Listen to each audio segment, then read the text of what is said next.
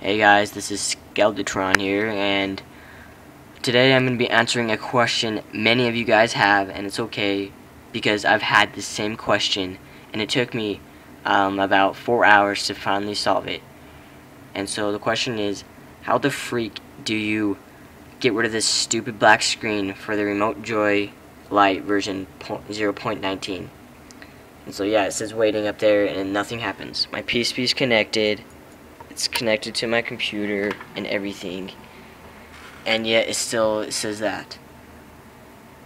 And this drove me insane.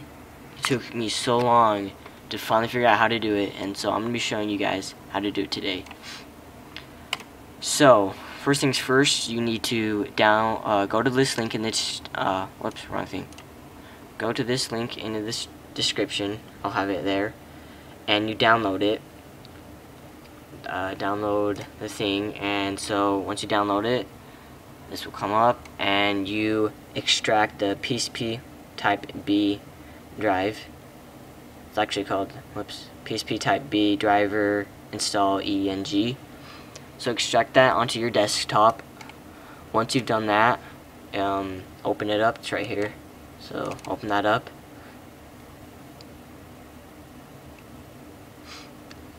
and you don't really need to know about worry about this. It's just kind of the directions. But anyways you uh, click open this up. And it says make sure um, let's see please ensure your PSP is not in the USB state USB state then click next. So mine's not really in it USB state but it still has the USB coordinate so I'm just gonna take it out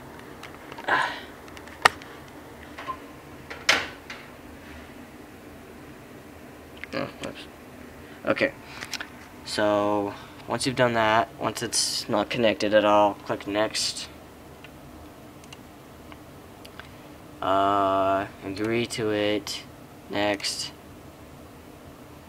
Then you have to wait. It's installing.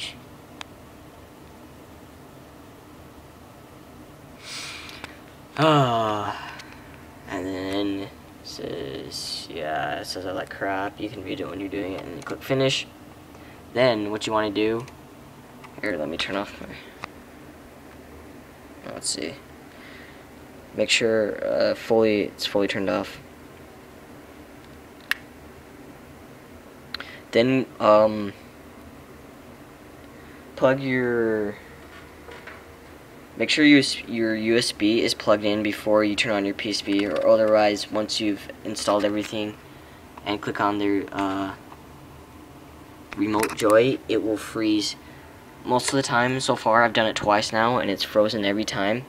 It freezes your PSP if you do if you plug in after you've turned it on and after you've done the fast uh, I can't remember what it's called fast something you use it so it's like basically rehacking your PSP for the PSP Slim. Anyways, it will freeze it. I'm pretty sure since it's done it uh, twice now. So plug that in.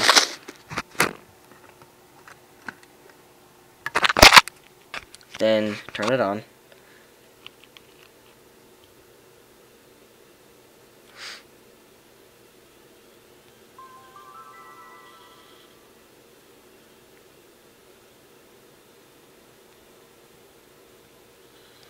And then if it's not already hacked hack it. Like if you know what I mean fast recovery. Yeah that's what it's called fast recovery. Do that. Make sure this was already plugged in before you do that or else it will freeze.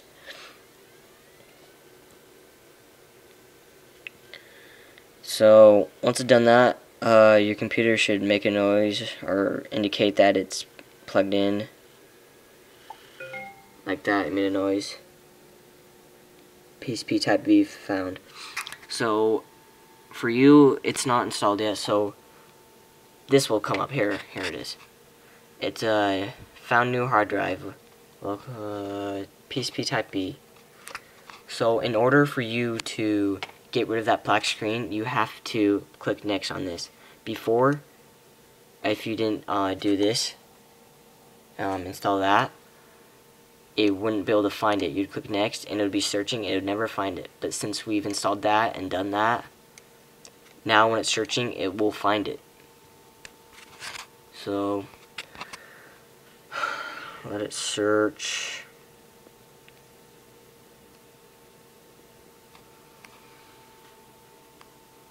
Sorry, it's taking a little longer than I thought it would.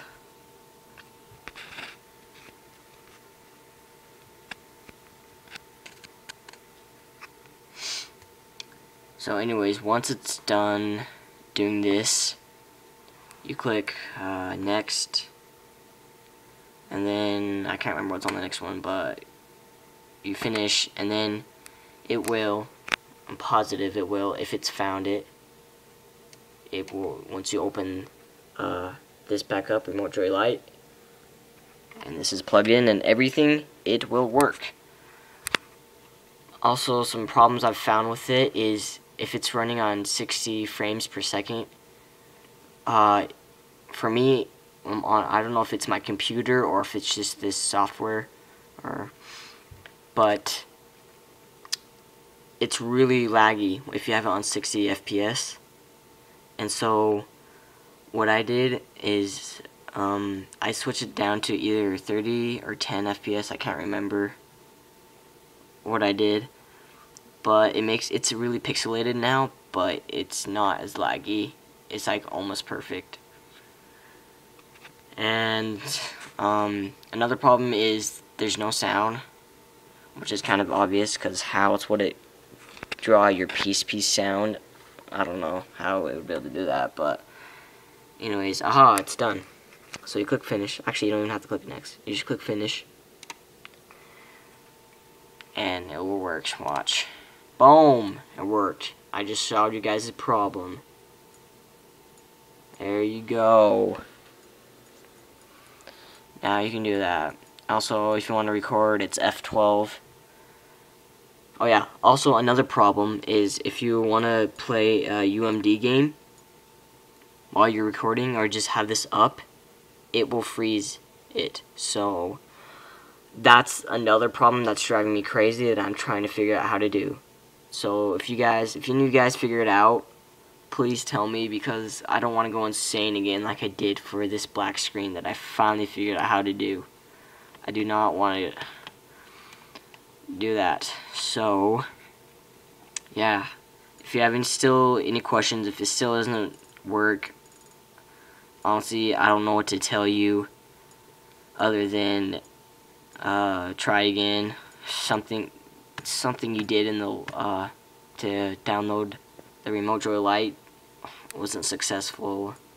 So anyways, yeah. So, peace. You're welcome, guys. And please subscribe to me.